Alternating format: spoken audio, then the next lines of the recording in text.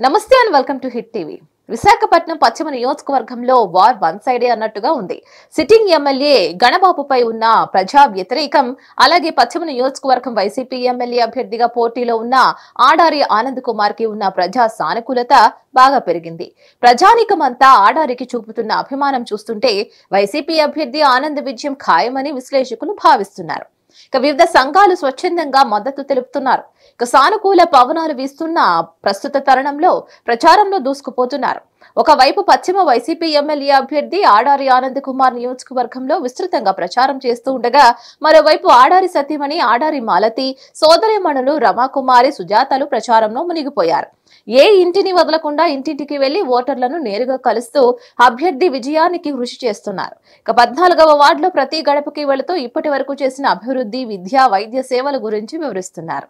ఆడారి ఆనంద్కి ఎమ్మెల్యేగా ఒకసారి అవకాశం కల్పించాలని విజ్ఞప్తి చేస్తున్నారు.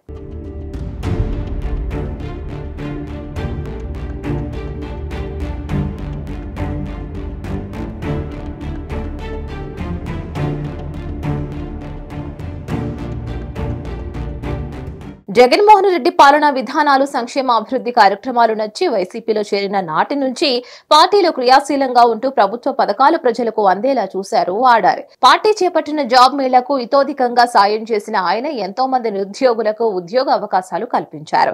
అలా జగన్ అడుగులో అడిగేస్తూ ముందుకు సాగుతున్నారు. నియోజకవర్గంలో ఆడారు చేసిన అభివృద్ధి కార్యక్రమాలకు నియోజకవర్గం ప్రజల్లో మంచి పేరు ప్రఖ్యాతులు సంపాదించారు. నియోజకవర్గం ప్రజల్లో కూడా ఆడారికి ఒక ఛాన్స్ ఇద్దామన్న ఆలోచన ఉందన్నది నిర్వివాదాంశం. ధనం పంచి ఓటర్లను ఆకర్షించడం చాలా మంది చేస్తూ ఉంటారు. కానీ ప్రేమాభిమానాలు పంచి ప్రజల అభిమానాలు ఆప్యాయతలు సంపాదించడం అందరి వల్ల కాదు. అది ఒక్క ఆడారి వల్లే సాధ్యమని నిరూపించారు ఆయన. ప్రతి కుటుంబానికి తను ఒక కుటుంబ సభ్యుని వల్లే వాళ్ళతో మమేకమవుతూ కష్ట సుఖాల్లో పాలు పంచుకుంటున్నారు. అందుకే ఆడారి ఆనంద్ అంటే జనంలో ఎంతో క్రేజ్.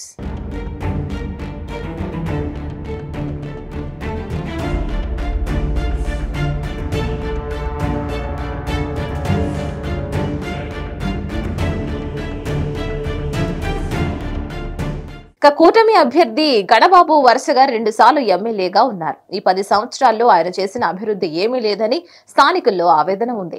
గతంలో కేంద్ర ప్రభుత్వం చేపట్టిన పనులు కూడా తన ఘనతగా చెప్పుకుంటున్న గణబాబు నియోజకవర్గం ప్రజలను పూర్తిగా నిర్లక్ష్యం చేశారన్న ఆరోపణలు కూడా ఉన్నాయి. కరోనా ఎల్జీ ఫాలిమర్స్ వంటి విపత్తుల సమయంలో కనీసం పట్టించుకోలేదన్న విమర్శలు కూడా ఉన్నాయి.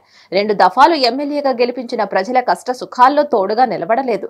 సరిగ్గా విపత్కర పరిస్థితుల్లో మొహం చాటేయడంపై నియోజకవర్గ ప్రజలు పెదవి విరుస్తున్నారు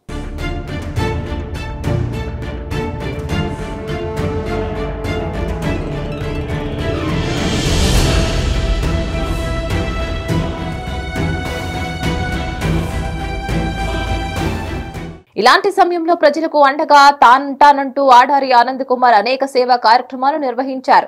రెండున్నర ఏళ్ళ క్రితం నియోజకవర్గం ఇన్ఛార్జిగా బాధ్యతలు చేపట్టిన తర్వాత అన్ని వార్డుల్లో అభివృద్ధి పనులు చేపట్టారు. విద్య వైద్యానికి సంబంధించిన అవసరాలకు సొంత నిధులు ఇచ్చి ఆదుకున్నారు. పెన్షన్ అందని అనేక మంది పెన్షన్లు ఇస్తూ చాలా మందికి ఆడారి అండగా నిలిచారు.